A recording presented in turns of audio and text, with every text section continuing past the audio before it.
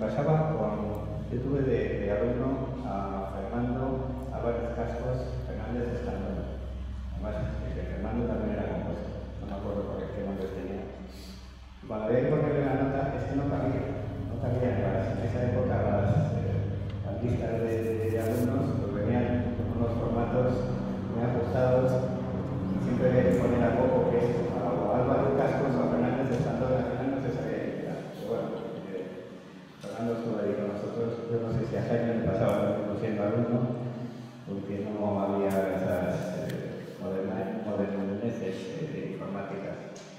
Eh, el que tiene que hablar es él, y yo solo voy a decir que para mí es un honor haberle conocido. Es verdad que le he conocido tarde, pero no es una pena, es un honor haberle conocido.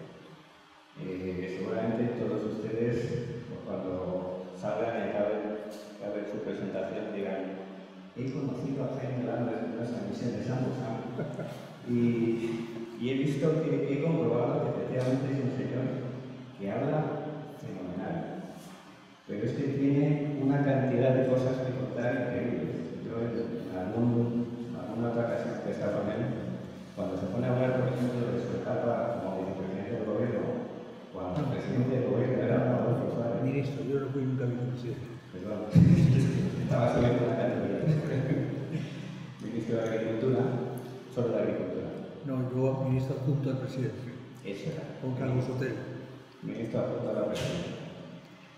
Pues esa etapa de España, tan, tal vez ahora, pero tan importante para nuestro país, seguramente el año que viene, en ese mismo, en esta misma escuela de verano, pues le invitemos a que cuente algo de esa época, porque como le digo, yo cuando he escuchado hablar de esa época y de sus vivencias, pues queda impresionante. Cambia totalmente la idea que podamos tener de cómo fue la transición de la dictadura a la democracia. Y probablemente se nos caerán muchas, muchas cosas que ahora nos están contando y que, bueno, pues se cuentan desde otro punto de vista. Pero hay que verlo en el contexto. O sea, hay que saber cómo era esa época en el contexto. Y este hombre lo vivió y fue un protagonista además y tuvo que ver mucho con la entrada de España en la Unión Europea. En fin, es una- un trozo de historia viva una parte muy importante de nuestro país. Es además un experto y un gran conocedor y un, y un gran aficionado a la época de la ilustración. Yo creo que es un ilustrado.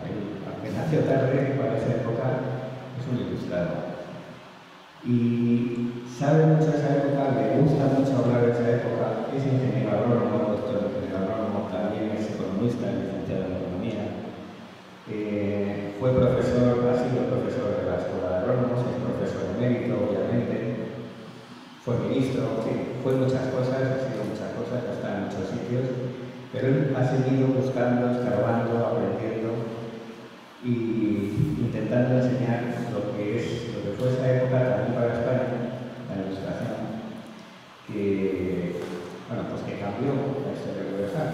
La ilustración está un poquito más lejos de la transición española, pero también fue una época que cambió toda nuestra historia, de, de la humanidad, y una pequeña pincelada es lo que hoy nos va a contar Jaime. Así que, cuando quieras, Jaime, Muy bien. Muchas gracias, Luis. Te lo agradezco todo tu cariñosa y tu amabilísima presentación. Eh, quizá la única conclusión importante de la presentación, dada todas las cosas que he contado respecto a mi persona, es lo que, la conclusión a la que se llega. Y es que soy muy mayor. soy muy mayor. Y por tanto he tenido muchas etapas de mi vida en las cuales pues, he hecho muchas cosas, pero al final llega un momento en que uno cuando mira para atrás, lo único que tiene que hacer es no mirar con nostalgia, sino con agradecimiento y alegría por lo que la vida le ha permitido a uno vivir y disfrutar. Y eso, en mi caso, sí, verdaderamente ha sido mucho. Luis apunta a mis dos apellidos, que sí, son largos. Él no sabe que el tercero y el cuarto son más largos aún. Pero el segundo, efectivamente, es de origen francés, el primero no. Es puramente eh, castellano y finalmente de origen valenciano, porque mi padre nació en Valencia, se crió en Valencia, aunque luego vino a vivir a Madrid y vivimos siempre en Madrid y todos mis hermanos y yo somos nacidos en Bien, cuando se me pidió que participara en este curso de verano dando la conferencia de clausura, yo me fui a ver en qué consistían todas las demás conferencias. Y descubrí que hablando de la formación de los cuerpos de la monarquía hispana y los designios imperiales, sin embargo, después iba entrando en cosas relacionadas con la escuela de caminos, con la escuela de arquitectura, con la construcción naval, por tanto la ingeniería naval, etcétera, todo un conjunto de cosas que nos llevaban a las distintas escuelas de ingeniería que integran la Universidad Politécnica de Valle. Universidad en la que yo estudié cuando no era universidad, cuando las escuelas dependían de los ministerios, y años más tarde pasaron a formar parte de eso que hoy llamamos Universidad Politécnica de Madrid, que fue una verdadera, eh, un gran hallazgo y una gran construcción. Y pensando en que los demás hablaban de sus carreras, de sus especialidades, me pareció que sería oportuno hacer una reflexión sobre la ingeniería económica, pero relacionándola con algo que tiene que ver con el mundo que empieza en la ilustración, que le coge a este palacio y que llega prácticamente hasta nuestros días. Y en eso voy a tratar de, de, entrar y por eso lo llamé la ingeniería agronómica y la tijera de Malthus, de la ilustración a la Escuela de Ingenieros Agronómicos. Estamos, he querido unir en el inicio personas que tienen que ver justo con el final del siglo XIX, XVIII, eh, con el final de la época de Carlos III, pero que dan origen y mueven en una gran medida lo que es la economía agraria de la época. Es una economía que yo tengo muy estudiada. Este librito que se titula Política Agraria de la España Ilustrada de Carlos III fue mi discurso de ingreso en la Real Academia de Doctores en su día. Y en este otro libro, bueno, este llega incluso con el celo encima, que fue cuando la escuela cumplió los 150 años de su historia, eh, yo empujé para que el Ministerio hiciera un libro y en el cual escribió un capítulo Gonzalo Anes, el gran catedrático de Economía, que tiene muy estudiado el siglo XVIII, XVII y XVIII en materia alimentaria, y Elena Espinosa, que era la ministra en aquel momento del Ministerio de Agricultura, como se llama Elena como una hija mía y Espinosa como parte de mi apellido, yo le decía a mi sobrina Elena y ella lo llevaba con muy buen humor y con mucho sentido de, de, efecto. Bien, estamos en el infante de Luis de Borbón, con Boquerini y Goya, porque campan los dos por, eh, en espíritu por estas habitaciones, que construye el palacio de 1765. Es el último de los hermanos de Carlos III, no llegó nunca a ser rey, otros sí, de Sicilia, de tal, pero este eh, y quiero vincular el palacio, el momento, con unas personas, con Jovellano, que escribe su famoso informe sobre la ley agraria, que se publica en 1795, y lo hace cuando eh, está al frente él de la Real Sociedad Económica Matritense, amigos del país, no olvidemos que las reales sociedades económicas la matritense o la de la primera, con los caballeritos, o las que vienen después en Valencia, Barcelona, etc., es una creación de la época de Carlos III. Es una creación, por tanto, que deriva de la Ilustración.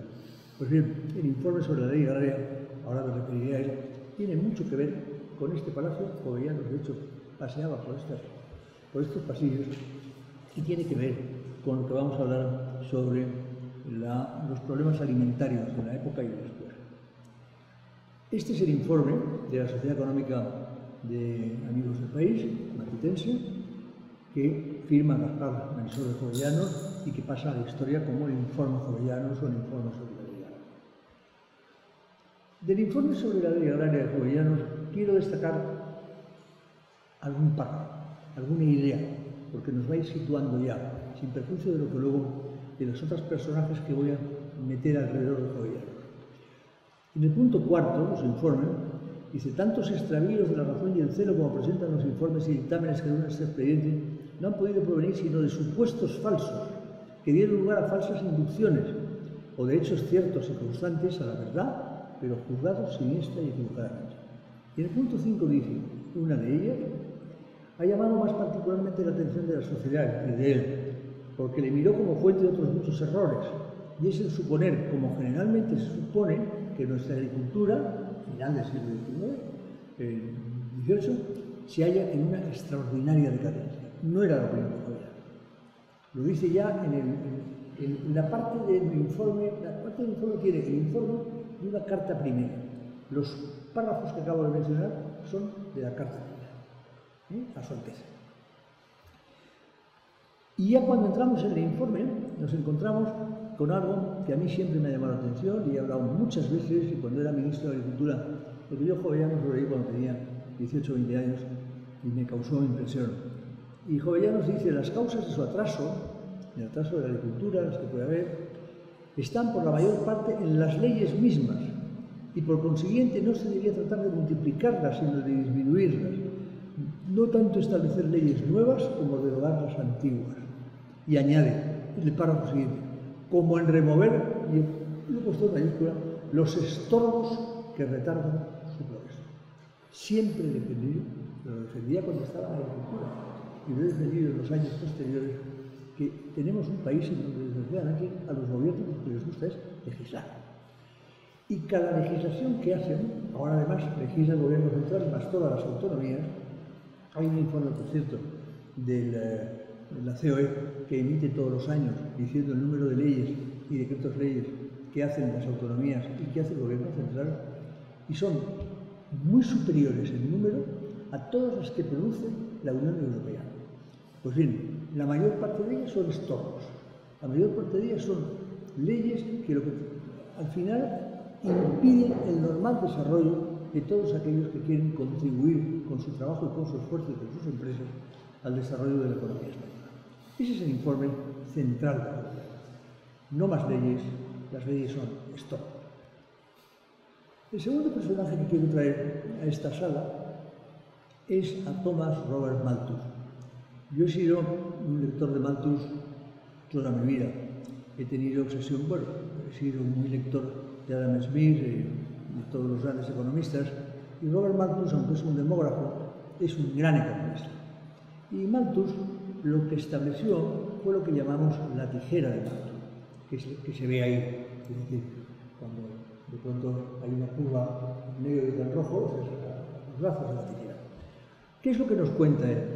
Nos cuenta que en el futuro la alimentación va a crecer en progresión aritmética, es la línea negra, pero la población crece en progresión geométrica y va a haber un punto a partir del cual no va a haber alimentos para esa población. Esa es la famosa tijera de Malthus, que luego hemos demostrado que no se ha cumplido y me referiré a ello más detalladamente según vaya avanzando. Es el segundo personaje que, me, intento relacionar con este palacio y con aquel momento de final de siglo. El tercero es Sandalio de Arias, persona poco conocida por muchos. Es más, yo tengo que decir que a mí siempre me ha sorprendido que en la escuela de ingenieros no se suele hablar de Sandalio de Arias, cosa que a mí siempre me deja perplejo, porque como ahora diré, es, bueno, su vida es 1773-1739, el retrato que ven ustedes ahí lo he sacado de la Real Sociedad Económica Matritense de Amigos del País, porque igual que Jovellano fue presidente de la Real Sociedad Económica Matritense, Sandalio de Arias fue presidente también en época posterior. Yo soy vicepresidente primero hoy de la Real Sociedad Económica Matritense de Amigos del País, está en la Torre de los Brujanes, en la Plaza de la Villa, y tra trabajo todo lo que puedo para que esa entidad vaya adelante. En Sandalio de Arias es un personaje que en la escuela de debería tener un retrato, una escultura, un algo, porque él en 1818 es el primer catedrático de agricultura que existe en España publicado en el boletín oficial. Y así está. En segundo lugar, él en 1819 publica un libro que son las lecciones de agricultura. Más tarde es director del Jardín Botánico, es presidente de la Real Sociedad Económica Matricense, como ya he mencionado, y emite un informe pidiendo la creación de cátedras de agricultura. Es la primera persona que, siendo el catedrático, pide que se establezcan escuelas de agricultura. Y he traído el documento, la fotocopia del documento que consta, eh, se lo puedo mandar si lo quieren, que consta en la Sociedad Económica Matricense, que pone arriba año 1811, número 10, plan para establecer escuelas de agricultura, administración sanitaria, consta mérito de la Sociedad de Madrid. Este, este documento completo, yo lo tengo, una fotocopia del documento, el documento está en la Sociedad Económica Matricense, pero Sandario de Arias es el hombre que en 1811 está ya pidiéndole al rey la creación no de cátedras, de escuelas de agricultura. Y tardaremos todavía un tiempo en llegar a ellas.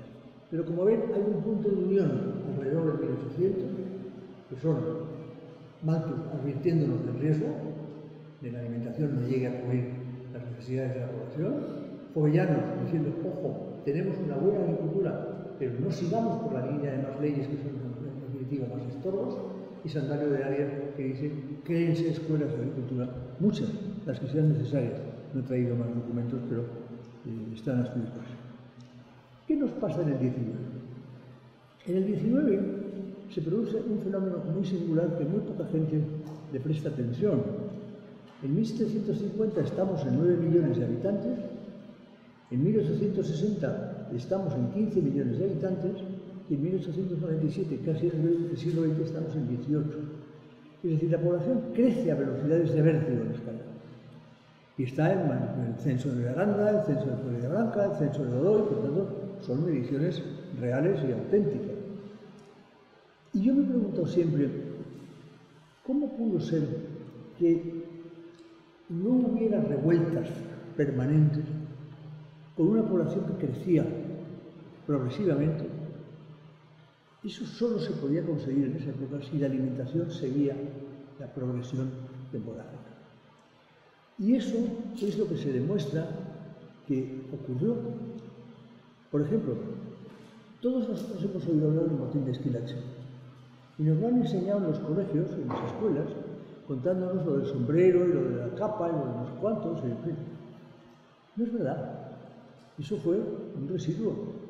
El motín de Esquilache, es 1766, que le cuesta caro a Esquilache, que tenía su palacio eh, ahí en la calle Barquillo, enfrente de, bueno, donde hoy está el Ministerio de Cultura, me parece que es, en el palacio que está al fondo de ladrillo rojo.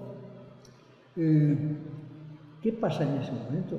Pasa que hay una crisis alimentaria agudísima. Yo sobre eso tengo publicados varios trabajos. Agudísima. Falta trigo, falta pan, es natural, eh, faltan alimentos básicos, hay unas revueltas en Cuenca, en Guadalajara, en, Madrid, y todo eso produce el motín de Esquilache. ¿Por qué no hay motines de Esquilache en este periodo? Pues porque la alimentación fue capaz de seguir adelante durante ese tiempo. La población española se ve ahí, se ve malamente, porque entre los años primero 1857 y el de 1930 apenas si se ve crecer las columnas. Si este gráfico lo hiciéramos con otra escala vertical, veríamos que la población entre 1857 y 1900 tiene un crecimiento verdaderamente exagerado. ¿Y qué pasó con los alimentos? En el 19, los niveles de la producción cerealista crecen fuertemente entre 1800 y 1860, o sea, la primera mitad del siglo. Crecen fuertemente. No se ha creado todavía la Escuela de Ingenieros Agrónomos, ¿eh? No se ha creado se crea en 1855, justo al final de ese. Pero en la segunda mitad, los ingenieros agrónomos de la época empiezan, a, suplir las carencias kilométricas mediante el manejo del suelo. Se dan cuenta de que el manejo del suelo puede compensar en buena medida los problemas de sequías, los problemas de lluvias que España tiene. Se incorpora nueva maquinaria, como la de Lucatero, se aplican por primera vez abonos inorgánicos, Y eso lo hacen los primeros ingenieros agrónomos salidos de la Escuela Central de Agricultura que están arriba, como Eduardo Abela y Sáenz de Andino, promoción número uno, en 1961. Este es un personaje singularísimo, al que hay que dedicarle mucha atención, que quiera saber algo más de esto, porque es el que discute con Joaquín Costa. Cuando Joaquín Costa, ya en el año 1900, eh, se convierte, ¿no es cierto? Joaquín Costa fue notario, no fue ingeniero, no tenía un camino, esas cosas, pero se convierte en gran experto en, eh, en el sistema hidráulico, en la política hidráulica, y defiende una política hidráulica de expansión de regadíos, sobre todo en la zona de los Moneros, en la zona del Alto Aragón, que es de donde él venía, Joaquín Costa. Hay un libro famoso suyo que es cuando él habla con el río Esera y mantiene conversaciones con el río y el río le contesta. Y él defiende que hay que expansionar los riegos del Alto Aragón porque en aquel momento se producía mucho trigo con bajísimos rendimientos. El trigo se llevaba por unas carreteras infernales, por unos caminos de herradura, carreteras, hasta Barcelona y cuando llegaba a Barcelona llegaba a un precio más alto que el que venía de Ucrania, que ya venían de Ucrania, porque ya en ese momento las exportaciones de Ucrania, eh, España cubría sus déficits con exportaciones de América que llegaban a la Coruña y con exportaciones de Ucrania que llegaban a Barcelona. Pues bien, en Barcelona el trigo y el cereal que venía de Ucrania entraba a precio más bajo que el que venía de Aragón, a través de esos malísimos caminos de rodadura que acabo de contar. Y por eso él defiende la expansión de los regadíos, no solo en Aragón, sino en toda España, y llega a hablar, eh, llega a, aspirar a una, una eh, expansión, por ejemplo, de un millón de hectáreas de río en España, por ejemplo, para viñedos, que en esa zona, en el Alto Aragón, no, había. Bueno, en definitiva, ahí hay una colección de ingenieros agrónomos importantes, Eduardo Vela, como acabo de comentar, Pedro Rubio, eh, Gumersindo Fernández de la Rosa, José Cascón, Eduardo de la Sotilla, Narero, Marcelino Arana, etc. Bien, todos estos son los que empiezan a lanzar cambios sustanciales para el modelo agrario de la época. Y así el autor francés Bloch llega incluso a decir, a finales del siglo, que la producción ha adelantado con más rapidez en el lado meridional de los Pirineos que en el septentrional. E Inglaterra es la única nación que ha hecho progresos más rápidos que España. En años ordinarios, escribe él, España produce bastante trigo para el consumo nacional y aún sobra una cantidad regular para la exportación. Esa es la España a la que luego me referiré comentando un libro que a mí me sentó como un tiro cuando lo publicó y escribí todo lo que pude en su contra, pero haré comentarios ahora. Y corrobora esa información las palabras del presidente del Consejo Superior de Agricultura, Industria y Comercio de entonces, Francisco de Paula Candao, ya en 1877, cuando afirma, hace 30 o 40 años, o sea, está hablando de 1830, las clases obreras de muchas de las provincias de España no comían pan de trigo. Hoy son contadas las regiones de España en que las clases populares no comen pan de trigo en cuanta cantidad necesitan para la alimentación. Es decir, el siglo XIX ha dado un salto de gigante en materia de alimentación. Y en la segunda parte, como consecuencia de la presencia de los ingenieros La escuela se crea en 1855 como Escuela Central de Agricultura. Eh, se crea eh, bajo el reinado de Isabel II eh, y siendo presidente del gobierno, primer ministro, es parte Más tarde esa escuela de ingenieros pasará a ser en la etapa de Alfonso XII, la escuela Alfonso XII de Agricultura, más tarde pasa a ser la de ingeniero agrónomo en el marco de la Politécnica, primero ha estado en la flamenca en Aranjuez y después ya se viene por donación de Alfonso XIII de los terrenos a la Moncloa, tenía una enorme superficie, superficie que luego les incautara para hacer la ciudad universitaria, pero en fin, ese es mundillo de la escuela de agrónomos que empezó realmente un poquito eh, más tarde, pero que tuvo una expansión muy fuerte y un inmenso apoyo siempre, tanto por parte de Alfonso XII como por parte de Alfonso XIII. Las primeras promociones ya las he mencionado, las frases de eh, Francisco de Paula ya lo he comentado. Pero los grandes progresos científicos agrarios arrancan alrededor de 1880, y cuando la escuela lleva unos 25 años de circular. Y la gran expansión agraria cabe centrarla sobre todo en el último cuarto de siglo. Es decir, ya los agrónomos están actuando sobre la geografía española. Este es el libro que yo decía que me produjo una enorme desazón. El progreso agrícola español fue notable entre 1830 y 1877, y luego más aún en el último cuarto de siglo. Pero esto, que es nuevo, rompe con algunas versiones negativistas de estos cambios y destruye la teoría de la larga siesta. La larga siesta es un libro de un tal Simpson en el que vino a sostener hace ahora unos años una agricultura española adormecida, mientras que las de Inglaterra, Francia y Alemania crecían y se modernizaban. Para él, aquí dormíamos, no nos poníamos las pilas para producir. Y las estadísticas que maneja, pues son estadísticas de enorme rechazo. Y esa es la razón por la cual yo, la última tesis doctoral que tuve el privilegio de dirigir en la Escuela de Roma, eh, se la dirigí a un geógrafo llamado Juan Rivero, eh, que escribió, y yo le planteé el tema, le dije, mira, yo nunca he comprendido cómo nuestra población crecía, según la tijera de Malthus, enormemente en el siglo XVIII y XIX, y no teníamos un problema de falta de alimentos. ¿Qué pasó aquí? ¿Por qué hay gentes que dicen lo de la larga siesta? Ya se me publicado el libro este, cuando yo hablaba con Rivero. ¿No podríamos montarnos tú y yo, tú para hacer la tesis, yo te lo dirijo, en estudiar las estadísticas reales y ver qué es lo que pasó.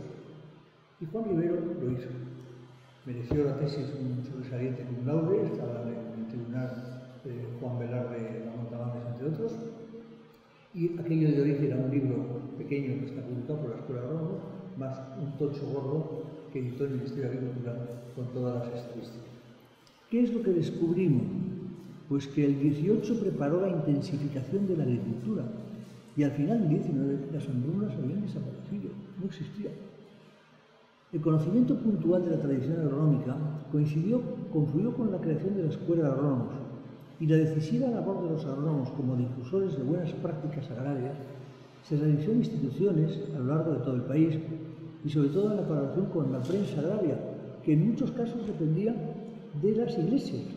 Y eran los boletines que determinadas iglesias junto con las sociedades económicas amigos del país, se entregaban a la terminación de la misa y que eran, eh, yo tengo una buena colección de ellos, y que eran cuadernillos dedicados a los agricultores, pero que, como iban a la iglesia todos, había que respetarlos, pues se les entregaban justo a la terminación de las misas de cada eh, domingo.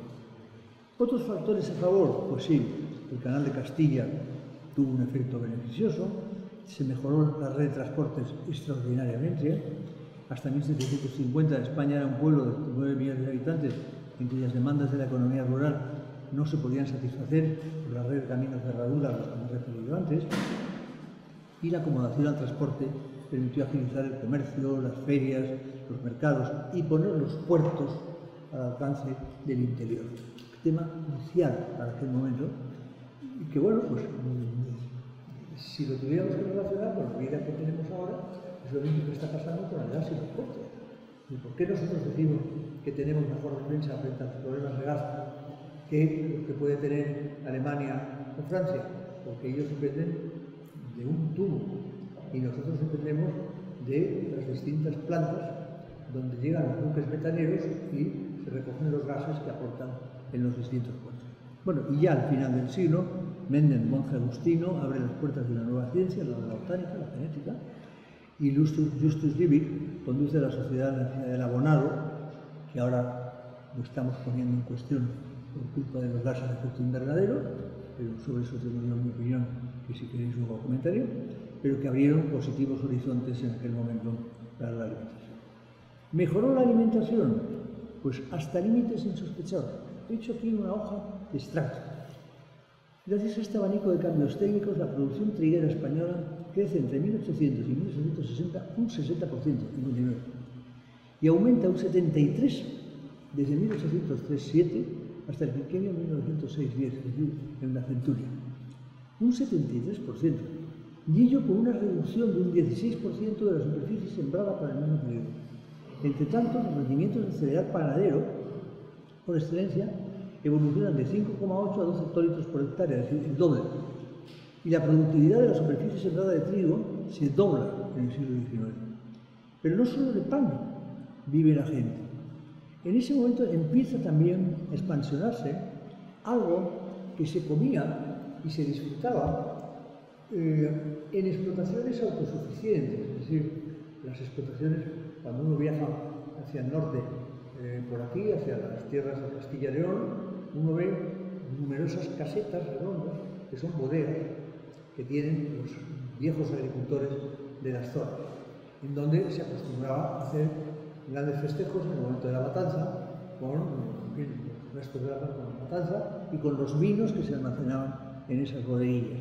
Pues bien, durante este periodo, de la mitad del siglo pasado, se expansiona el aceite, se expansiona el vino y se expansionan las patatas y la producción de vino crece un 32%, el aceite crece un 51% y la patata, que trajimos de América y que se convierte en la gran salvación de toda Europa, de toda Europa, yo no sé qué habría sido Europa sin la patata, habría habido unas hambrunas verdaderamente espeluznantes. La patata pasamos a producir de 25 a 100 kilos prácticamente por persona y año, es decir, tiene un crecimiento neto de casi el 300%. ¿Qué habría sido de España sin la patata? ¿Por qué habría sido de Inglaterra? ¿Qué habría sido de Francia? Pero el caso de España lo tenemos ahí. Tanto se expansionan que Gonzalo Anes llega a decir que vinos, pasas y uvas forman al lado de los minerales la plataforma básica de la economía española del siglo XIX. Eso lo dice Gonzalo Anes, lo dice un apasionado del mundo agrario como puede ser yo, que a lo mejor no soy muy objetivo, pero Gonzalo Anes es un gran economista, yo le traté muchísimo, me hablé con él muchísimas veces y discutíamos sobre estos temas, y era un hombre con un criterio verdaderamente notable. En este libro que acabo de decir, que lo tiene el Ministerio de Agricultura, eh, hay bien un capitulito de Gonzalo Anes sobre la economía en ese, en ese periodo.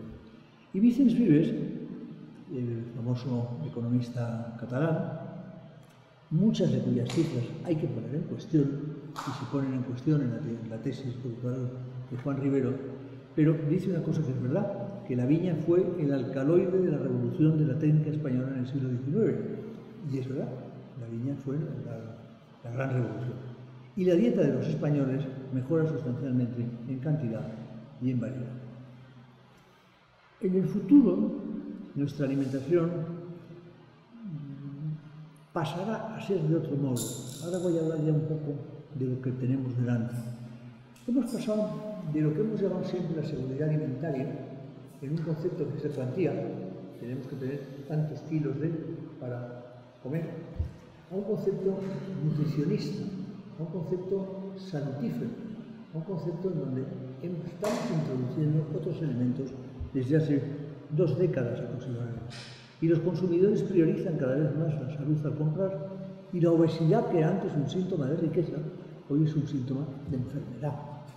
Antiguamente, eh, que una persona, en las películas que vemos todos, y ahora además, vemos todos en Movistar, Netflix, etcétera, etcétera, etcétera, en las películas del siglo XX, que reflejan el principio del siglo XX, ¿sí? más, el principio del siglo XX, en París, en Londres en Madrid, un señor obeso, pero con su chaleco abotonado, su corbata, su chaqueta, y un señor de la gran altura social. Eso demostraba que tenía una posición económica realmente importante. Hoy un señor obeso es un señor preocupante, un señor que tiene una enfermedad y que debe ser cuidado. Hemos pasado del mundo de la dieta general a la nutrigenómica, y así como a los productos plant-based como complemento de dietas salutíferas. Estamos hablando ya de nuevas carnes. Algunos hablan incluso de la no carne. Estamos hablando de las nuevas harinas, del polvo de grillo, de la harina de escarabajos y otros más de los que está aprobando la Unión Europea, la Unión Europea en el marco de los nuevos alimentos. Sobre esto tiene publicados artículos interesantísimos y trabajos el catedrático de la escuela, hoy en mérito también, Carlos Rousseau. Y todo ello modificará los, patrones, de consumo. Fue Wells quien afirmó que la humanidad dependía de una carrera entre la educación y la catástrofe. En el campo alimentario, las predicciones catastróficas no se han cumplido, gracias a la educación en el campo, a la agronomía y a la alimentación. Yo he estudiado, yo presidí, tuve la, suerte de ser elegido presidente de la Conferencia Mundial de FAO en 1971. Y eso me mantuvo al frente de la FAO por una serie de circunstancias hasta el 81.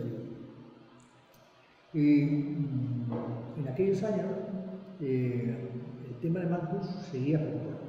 Pues bien, durante los últimos 50 años que me he molestado en estudiar, la población mundial se ha duplicado y la agricultura ha respondido con creces a ese aumento, creciendo la superficie cultivada solo un 12%, pero multiplicando los rendimientos y la intensidad de los cultivos.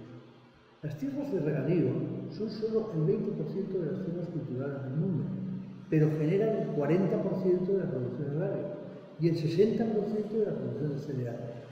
Es casi con seguridad, eso me atrevo a decirlo, eh, es casi con seguridad regadío lo que ha roto en el último la tijera de mando que decía Sin los regadíos no se lo hubiéramos llegado tanto en España como fuera de España. En España tenemos un ejemplo que además me pone últimamente muy nervioso. Se hizo el acueducto Tajo Segura, de trasvase. Eh, algunos escriben y yo me quedo con eso, que claro, que eso fue una idea franquista. Bueno, el trasvase Tajo Segura lo sugiere Lorenzo Pardo el Plan Ideológico Nacional durante la Segunda República. Y es el ministro Ignacio Prieto el que empuja la construcción del, del acueducto Tajo. Y dice que tardará muchos años. Y en esos años futuros habrá gentes que piensen de un modo u otro políticamente, pero el acueducto debe seguir. Y efectivamente se empieza en tiempos de Franco, se acaba en la UCD, y es Joaquín Garrigues, compañero mío del gobierno, el que como ministro de las Públicas apoya la inauguración del trasvase Tajo Segura, con esas aguas que llegan desde el Tajo al Segura, una parte para el turismo y para eh, seguridad, digamos, eh, urbana, eh, para, ver en las ciudades, y otra, la que se dedica a la agricultura, se genera un triángulo, que es lo que llamamos hoy la Huerta de Europa, entre Almería, Murcia y Alicante, que es, hoy el gran centro exportador de frutas y hortalizas a Europa, a todo Europa, y así es reconocido. Bueno, pues eso que es reconocido en Europa entera, que está ahí, y que viene desde la República, ahora hay personas que quieren acabar con el proyecto como consecuencia de que dicen que es una ideología, una idea franquista. Bueno, pues, si hay que acabar con todo el franquismo, pues también hay que acabar con la seguridad social, porque fue en aquella época. En fin, hoy estamos en otra situación. Hoy tenemos que ver la agricultura desde el reto climático, desde el reto ecológico, desde el reto demográfico, desde la sostenibilidad, desde la digitalización. Son nuevos paradigmas en los que no voy a entrar, pero sí quiero decir que tendremos que tener mucha atención porque como consecuencia de la guerra de Ucrania hemos entrado en un nuevo orden mundial. Yo aquí he puesto un gráfico donde veis el crecimiento de la población, como ha venido creciendo, cómo sigue, y según Naciones Unidas, hace 10 días dio la noticia de que en noviembre de este año, 2022, seremos ya 8.000 millones de habitantes. 8.000. Y por tanto, que vamos a ser 9.000 en el 2050, pues a lo mejor eh, somos 10.000. Porque la velocidad a la que estamos creciendo sigue siendo verdaderamente asombrosa. ¿En qué se ha convertido la agroalimentación española hoy? Esto he traído esta hoja como resumen un poco para ver el gran salto. Cuando yo era ministro de Agricultura, yo vivía obsesionado porque teníamos un déficit comercial Exportábamos mucho menos de lo que importábamos, porque importábamos en aquel momento mucho aceite de soja, nos exportábamos café, carnes, porque éramos, éramos poco productores de carnes. Bueno, hoy nosotros tenemos una situación alimentaria que si a mí me lo hubieran contado en aquellos años en que yo era ministro, 78-82, no me lo hubiera creído. Tenemos una producción final agraria que ha multiplicado por 11 la del 75. Tenemos una balanza comercial agraria positiva en más de 10.000 millones de euros cada año, creciendo. Es la segunda de España después de bienes de equipo, pero ojo, algunos trimestres el sistema agroalimentario arroja una, un superávit de balanza comercial mayor que bienes de equipo. Por tanto, bienes de equipo y nosotros estamos en este momento compitiendo por el primer puesto. Somos el primer país de Europa en hectáreas regadas, 3,8 millones de hectáreas. Y el tercero del mundo en riego modernizado. Cuando la gente dice, si es un riego muy antiguo, se pierde mucha agua. No, no es. Tenemos una parte del riego modernizado, con riego por goteo, etcétera, modernizado, y otra parte con riego, sí, de los primitivos, de presa, públicos, pero que se van modernizando un poco. Somos el tercer país agrario de la Unión Europea. Somos el segundo perceptor de ayudas de la PAC. Somos el sexto exportador agroalimentario mundial. Ocupamos las primeras posiciones en el mundo en consumos intermedios, es decir, en el consumo de inputs, en el consumo de energía, eh, eh, fertilizantes, eh, productos fitosanitarios, vacunas, etc. Sanidad animal, etc. Somos un país puntero en el uso de organismos modificados genéticamente. Yo sé que esto para muchos ecologistas les gustará muy poco, pero voy a decir que todas las reales academias que hay en el mundo que se han pronunciado sobre los OMG han dicho que deben seguir usándose y que no deben prohibirse. Todas las reales academias del mundo, todas.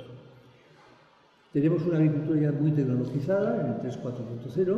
La industria agroalimentaria es el primer sector industrial español.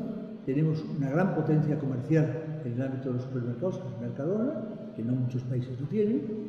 Somos el sexto exportador mundial global, pero el primero en vino, el primero en aceite de oliva y el segundo en carne de porcino, que no lo éramos hace 10 años, en carne de porcino. Hemos dado un salto absolutamente gigante.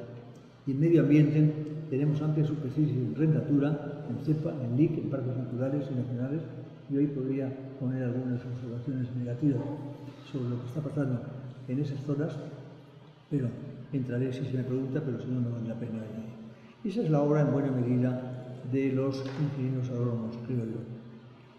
Y ahora estamos caminando hacia una situación nueva. La guerra de Ucrania ha cambiado el orden mundial, ha nacido un nuevo orden mundial. Para que nos situemos, voy a tratar de hacer una especie de, de breve resumen. Cuando termina la Segunda Guerra Mundial, empezamos en una etapa que se rompe en el momento en que se crea la Comunidad Económica Europea, en los 50 y tantos, Ahí vamos creciendo con la Unión Europea. De pronto, en, el final de 1969, cae el muro de Berlín. Al año siguiente se produce el, eh, la, el Tratado de Varsovia. Desaparece la Unión Soviética. Aparece la Federación Rusa. De esa Unión Soviética hay un conjunto de países, Hungría, Polonia, Bulgaria, etcétera, tal, que en los años siguientes se incorporan a la Unión Europea China se va abriendo a la producción de ciertos productos y se produce la globalización mundial, en la que mm, España ve como muchas de sus industrias se eh, externalizan y como toda la producción, parte de la producción, y se la llevan a China o se la llevan a otros países y cambia el mundo. Y en ese mundo globalizado hemos vivido hasta ahora. Y ahora con las sanciones de, con la guerra de Rusia contra Ucrania, las sanciones europeas contra Rusia, etc., y una China que quiere mantenerse en una posición neutral, estamos en un nuevo orden mundial. Y la Unión de Naciones Unidas anuncia que en noviembre alcanzaremos los, mucho antes los 8.000 millones de habitantes. Y existe una profunda crisis de abastecimiento. En este momento, hoy creo que están llegando a un acuerdo eh, firmando eh, Rusia y Ucrania, en Turquía, para abastecer al mundo de cereales, porque las quejas a Rusia ya no le estaban llegando desde la Unión Europea, con la Rusia de sino fundamentalmente de África y Asia. Y eso Rusia no se lo puede permitir. Y por eso están llegando a un acuerdo para asegurar los abastecimientos. Porque la hambruna ha crecido. Las hambrunas habían ido cayendo, la FAO, los últimos censos de hambre los daban entre los 800 y los 820 millones de habitantes y este año ya lo ha subido a 850, básicamente, como digo, África y Asia por la ausencia de trigos y cereales de Bien, eso es lo que yo quería contar. Quiero cerrar mi intervención con una reflexión sobre los ingenieros. Y para ello me voy a ir a una persona a quien yo tuve la suerte de conocer, yo tenía 14 años, cuando Ortega y Gasset vuelve eh, a España, eh, se domicilia, toma, alquila un piso en la calle Montes 15, 28. Y ahí es donde yo vivía con los juegos. Lo que pasa es, claro, yo tenía, cuando Ortega viene, tenía 12, 10 años aproximadamente, y yo me acuerdo que a mí me llamaba mucho la atención que cuando bajábamos en el ascensor, en un edificio de siete plantas, y nos encontrábamos con un señor con sombrero y tal, mi padre le saludaba con un respeto hasta y era un niñato. Yo veía que él esto debe ser importantísimo. Bueno, un día mi padre me descubrió que el señor, se llamaba Ortega y que era un gran filósofo, y para que yo no sabía nada de filosofía, porque algún día lo estudiaría. Bueno, efectivamente, yo lo conocí hasta los 14, 15 años, en que nos mudamos a otro edificio de Madrid, y ya dejé de ver a Ortega. Pero por una serie de circunstancias tuve alguna relación con él, con sus uh, sobrinas y con su sobrina y con su, uh, alguno de sus uh, parientes muy, muy, directos. Pues bien, Ortega en el año 19 publicó en el diario El Sol un artículo que se titulaba La fiesta de los ingenieros. Y es un artículo que me gusta que los ingenieros lo escuchen. En él hablaba de un informe que los ingenieros que habían celebrado un congreso, todos, eh, iban a presentar al rey. Y entonces decía, van a presentar al rey un plan completo de reformas y trabajos que en el orden de su especialidad viene a ser el magnífico esquema de una reconstitución nacional. Y seguía, están cansados los ingenieros de que hoy un político, mañana otro, aparece en la plaza pública pregonando tal o cual específico reconstructor Acuden los ingenieros a la vida pública como lo que son, como hombres de ciencia y práctica técnica. Aportan a la guardación lo que es su haber, el conocimiento. Ese es un documento de Ortega que nunca escribió sobre los ingenieros más que ese artículo, que merece la pena ser considerado. Einstein escribió, sin crisis no hay desafío, sin desafíos la vida es una rutina, una lenta agonía, es en la crisis donde aflora lo mejor de cada uno, porque sin crisis todo viento es caricia. Callar en la crisis es exaltar el conformismo. Frase tremenda. ¿eh? Callar en la crisis es exaltar el conformismo. En vez de eso, trabajemos duro. Acabemos de una vez con la única crisis amenazadora, que es la tragedia de no luchar por superarla. Pues bien, ahora tenemos una inmensa crisis de energía, de alimentos, una ruptura de la globalización. Y aquí es donde yo creo que siguiendo con Ortega se nos espera a los ingenieros. ¿Aportando qué? Aportando lo que es nuestro haber según el conocimiento. Y esa sería para mí la conclusión de esta, de esta charla de esta mañana que espero no haber aburrido mucho. Gracias.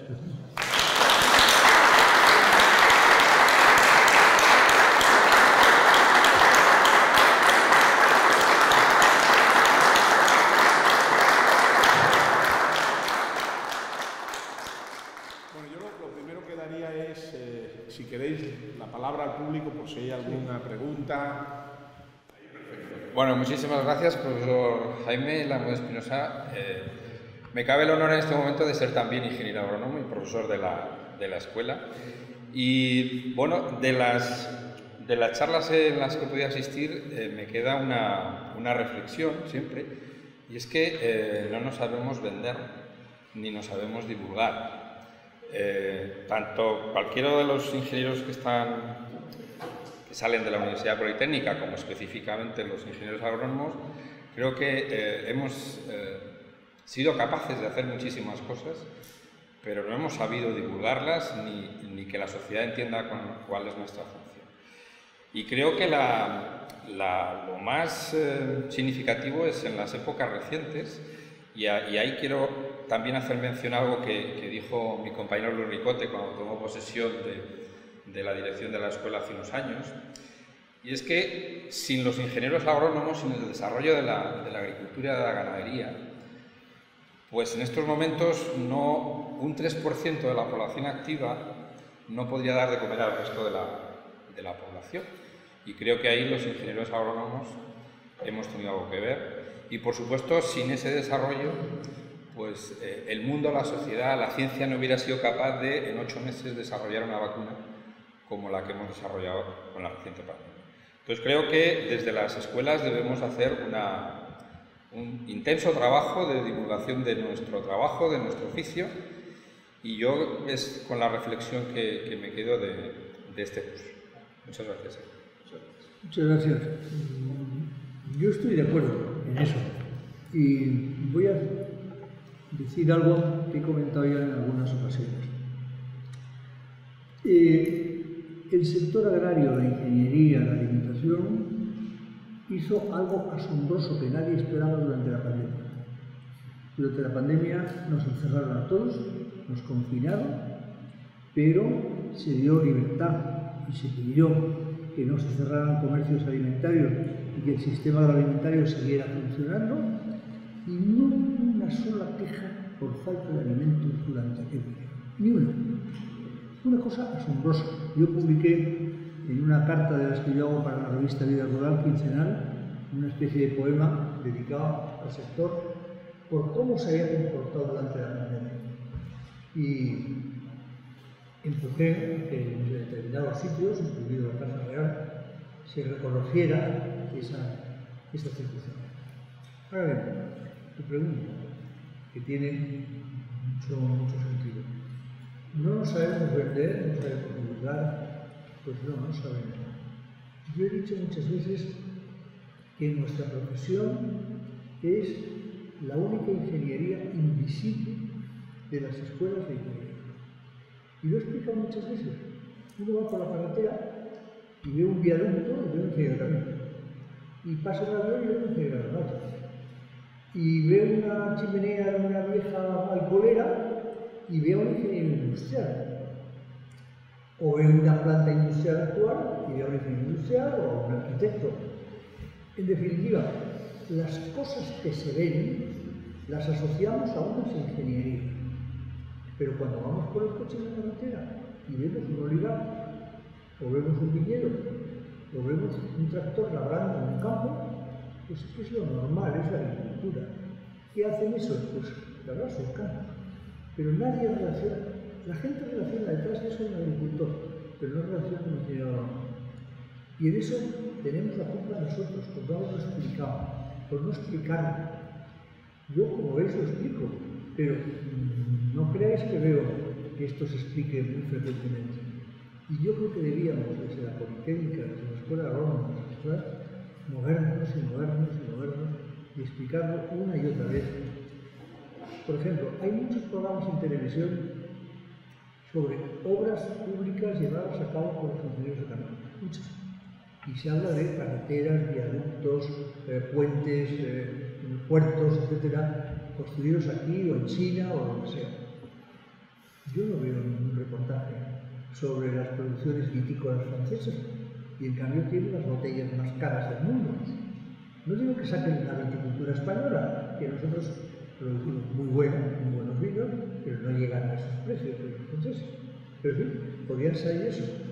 En el mundo del, del aceite de oliva, el mundo del aceite de oliva es un mundo que está sobre todo vinculado a los eh, eh, italianos. No solo debe estar vinculado a los italianos. Mi abuelo José María, que era diplomático, fue cónsul en Nápoles en muchos años, también lo fue en San Francisco. San Francisco trajo a España los primeros eh, plantones de, de pomelo que se plantaron en España, el plantón de la que él tenía en Valencia. Eh, pero cuando estuvo en, en Nápoles, escribió un informe al Ministerio de Exteriores, que sigue allí, yo conseguí que se reprodujera sobre los aceites de oliva italianos y qué teníamos que hacer nosotros para ser como los italianos. No había que hacer mucho, pero, pero había que hacer. Pero había que hacer ¿eh? Vender y, y, y, pregonar. Es decir, yo veo, por ejemplo, cuando voy a Roma, y lo siempre con alguna frecuencia, que en el aeropuerto venden botellas de aceite de oliva, mayor de tamaño, un litro, tres cuartos, con trufa, con esencia de trufa, para darle la norma. Son muy caras. Pero los italianos han sabido comercializar ese producto. Nosotros no tenemos trufa, blanca y negra. ¿Alguien ha visto una botella de aceite de oliva española con trufa? Yo no lo he visto. Con esto quiero decir que podemos hacer muchas cosas y que desde la escuela de debemos movilizarnos más. Yo en la medida en que pueda ayudar, sabéis que puedo. Sí. Una... Sí. por favor, para que se pueda oír. Bueno, eh, muchísimas gracias por la exposición, profesor. En sus conclusiones ha apuntado a lo que usted entiende que es un nuevo orden un nuevo orden global a raíz de la invasión rusa desgraciada de Ucrania. Y también nos ha transmitido la idea de que los tiempos de crisis también son tiempos de oportunidades. Entonces, apelando a su trayectoria política y su gran inteligencia, ¿dónde ve el rol de España en este nuevo orden mundial? ¿Hay oportunidades para avanzar y cómo se puede lograr? Gracias. Sí, bueno, muchas gracias por la inteligencia, Eh, yo no sé que, hemos entrado en época de crisis y seguir. Y que esa época de crisis nos obliga a reflexionar sobre nuestro propio sistema productivo y si debemos ir en una u otra determinada dirección, yo creo que hay que reflexionar seriamente y ser capaces de potenciar aquello en lo que somos hoy ya potencia mundial. Somos potencia mundial en realidad, no podemos ir en contra de la Y me temo que hay una corriente en ese momento contra la somos una potencia en el sector hortofrutícola en vino, en aceite de oliva y en el porcino. Debemos seguir por ese camino yendo todo lo más lejos que podamos. Porque tenemos unas oportunidades de exportación grandes. Y no hay que engañarse, los países que no fomentan su exportación acaban quedándose cortos, acaban quedándose unidos. Por tanto, tenemos que buscar esas, esas oportunidades y aprovecharlas a más. Mm, eso significa también que a lo mejor hay que hacer algo que yo he empezado a explicar hace muy pocas semanas y que lo voy a explicar aquí aprovechando que tengo el público que tengo. Se nos está presionando desde la Unión Europea para que, como consecuencia de los gases de efecto invernadero, nuestra agricultura y nuestra ganadería se apaguen un Es decir, como usted tiene un 12% de gases de efecto invernadero, pero que parte básicamente en su mayor parte en la ganadería y en su menor parte en la agricultura, en la agrícola, pues usted debería reducir su producción animal, al mismo tiempo reducir su consumo de carne, desplazarse hacia la parte vegetal y en la parte vegetal reducir la parte de abonos de cualquier tipo para también reducir los gases de efecto invernadero. Bueno, pues en estos días la Unión Europea ha hablado de ser más condescendientes con los gases de efecto invernadero que proceden del gas que afecta a las industrias para que el sector industrial no caiga. Bueno, yo pregunto, Vamos a ver, la seguridad alimentaria no es un eje de la vida mundial más que la industria. ¿Queremos que la población mundial se alimente sin problemas? ¿Queremos que la seguridad alimentaria sea un hecho y que no haya dificultad de alimentarse en África o en Asia o donde sea? Pues entonces tiene que haber una producción de alimentos considerable. Y por tanto no se la debe reducir. Y por tanto la Unión Europea debería, y el mundo entero, debería ver sí, se puede ser indulgente, bajar los raseros de la reducción de gases de efecto invernadero y seguir permitiendo ciertos fertilizantes y seguir permitiendo ciertas prácticas a cambio de tener alimentos. Y si para eso hace falta reducir gases de efecto invernadero en otros sectores industriales, comerciales, trabaja usted sobre otros sectores. Es decir, que uno sea emisor de gases de efecto un 12% no significa que yo tenga que reducir en proporción al 12%. Significa que a lo mejor tengo que seguir en el 2%, pero otro tiene que reducir más porque yo estoy garantizando la seguridad alimentaria. Y a mí me parece que esto, que no se lo he oído decir a nadie, ni en el extranjero ni en España, porque yo llevo dos semanas con la perra, eso es de la expresión, y aprovecho hoy para decirlo porque me parece que sería una buena eh, cuestión a sugerir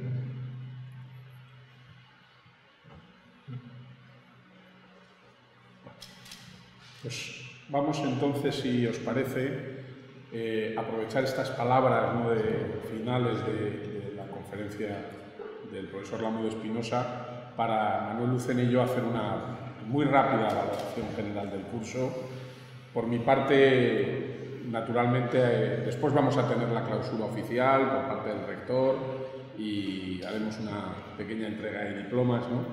Pero ahora como, como conclusión final querría simplemente apelar a la, a, la bueno, gran cantidad de información que hemos recibido estos días, a lo largo de, de, esta semana, en, en, una mirada que efectivamente ha querido ser general, transversal, haciendo pequeños zooms hacia bueno, pues realmente acercamientos a, a, sectores muy concretos de la ingeniería o de la arquitectura. Naturalmente no hemos podido llegar ni siquiera ya a todos, ¿no? Hemos llegado a muchos menos de los necesarios, pero hemos querido dejar preparado el camino pues, para, para, otros cursos que van a venir detrás y que nos permitirán hacer esas aproximaciones de manera mucho más eh, puntual y concreta.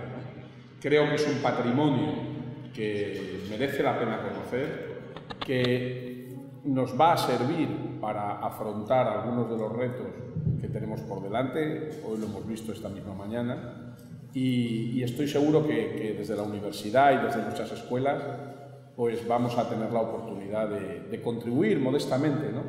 a hacer de, ese legado ¿no? también un motor de los cambios y de, las, y de los medios digamos, con los que afrontar esos retos que nos esperan.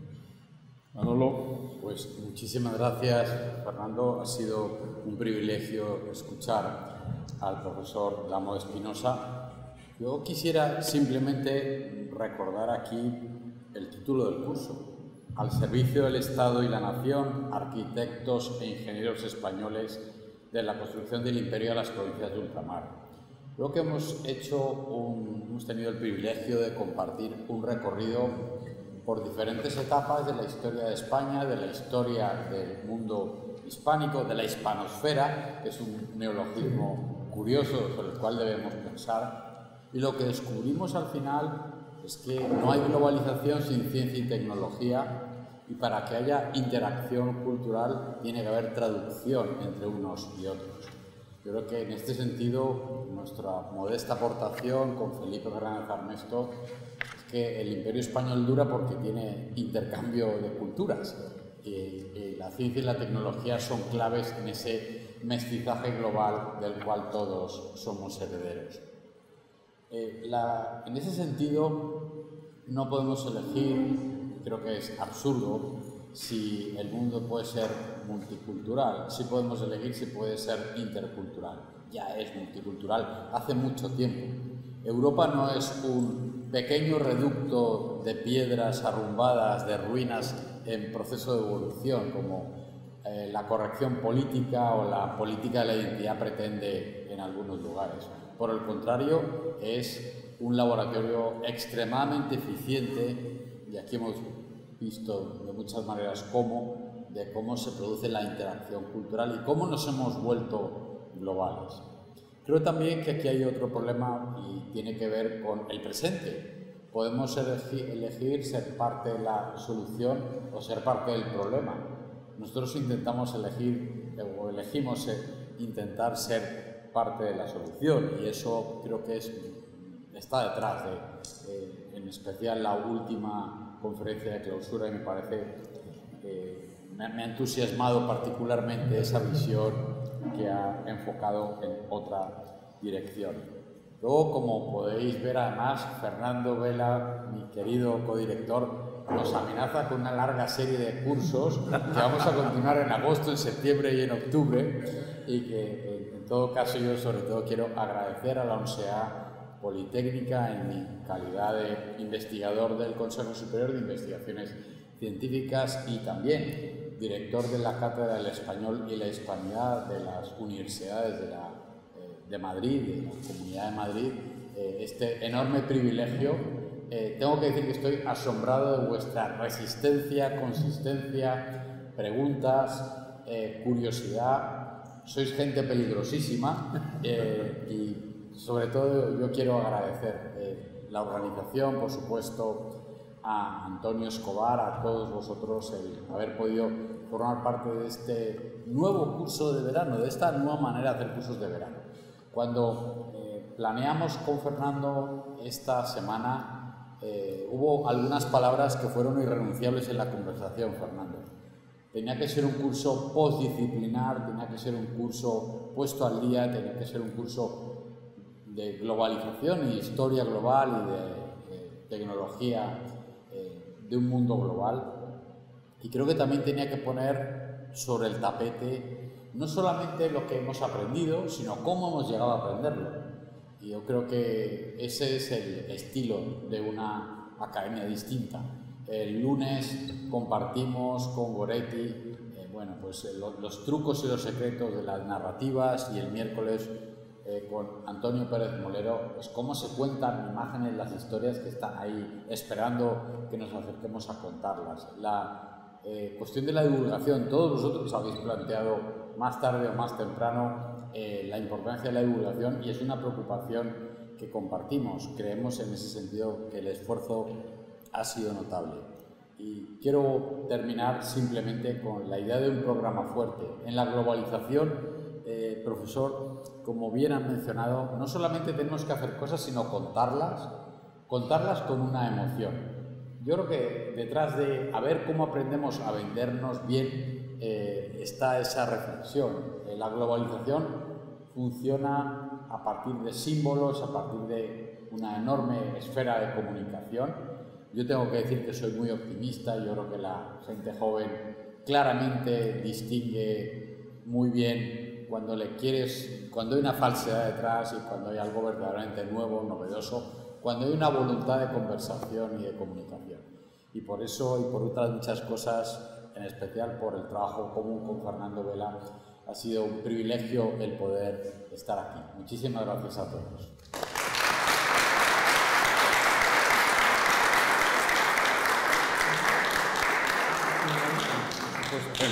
¿Me permitís? Sí, sí, sí, por supuesto. Es vuestra clausura, pero me gustaría recordar una cosa. El programa se titula Al servicio del Estado y de la Nación. Eh, en la Universidad Politécnica se hizo hace unos años un libro titulado Ingenieros egregios, no recuerdo mal. Después hablaba de muchos ingenieros. Pero a mí me gustaría simplemente traer al recuerdo hoy, al filo de lo que tú acabas de decir, que habría que destacar, por ejemplo, a un ingeniero agrónomo, Manuel Allende Salazar y Muñoz de Salazar, que fue presidente del gobierno con Alfonso XIII en 1921 y era profesor de la Escuela de Legislación, Economía y Contabilidad Agraria y más tarde catedrático titular. este es un hombre que llegó nada menos que a ser primer ministro de la corona. Pero es que Leopoldo Carlos Otero, no ingeniero ingeniero de caminos, ha sido presidente del gobierno poco tiempo, durante la transición bajo el reinado de don Juan Carlos. Bueno, ¿cuántos ingenieros ha habido que hemos estado al servicio del Estado un tiempo. Salvador Sánchez Terán como ministro de, Fomento durante mucho tiempo, Rodolfo Martín Villa, ingeniero industrial, y si echamos la mirada hacia atrás, encontraremos a Rafael Cabestani, que fue ingeniero agrónomo y ministro de Agricultura, Carlos Rey que también le ocurrió lo mismo. Hay muchas personas que han estado al servicio del Estado y deberíamos quizá desde la Politécnica hacer un catálogo de todos ellos. No sé si lo está hecho o no, pero si no se ha hecho, valdría algo, algo tenemos. Me voy a permitir además añadir un nombre a los que ha citado Jaime. El alto representante de la política exterior europea, José Borrell, es ingeniero aeronáutico también por nuestra universidad. Así que recogemos el guante para actualizar esa nómina, digamos, de de voy a permitirme de arquitectos e ingenieros al servicio de España y en este caso pues de, las instituciones europeas hoy y, arrancar el próximo curso de estos que dice Manolo con los que amenazo haciendo esa revisión de la nómina.